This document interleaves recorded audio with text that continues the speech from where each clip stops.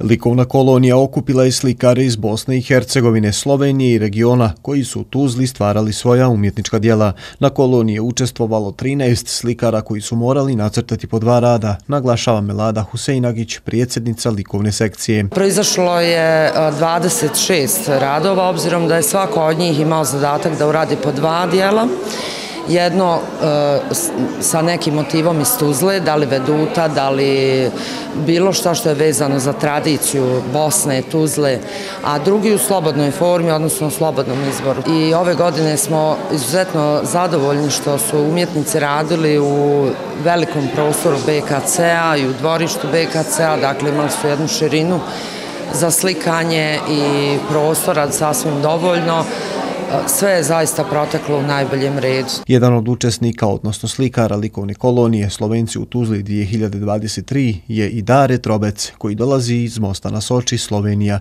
Trobecu ovo nije prvi put u Tuzli. Ovdje sam treći put sad za redom i svaki put ja mislim da mislim, barem ja se osjećam sve bolje, sve bolje i baš mi je drago da me pozovu i da dođem ovdje, mislim, osjećam se, mislim, fantastično je bilo, jednostavno rečeno. Za motiv Tuzle sam odabrao, znači, one dva velikana, Mešo i Isme, Ismeta. I drugi rad sam radio neku abstrakciju i malo šaljivo sam rekao da je to isto motiv Tuzle i kao nastavi Tuzla, mislim da 3752. godine, vidit ćete to.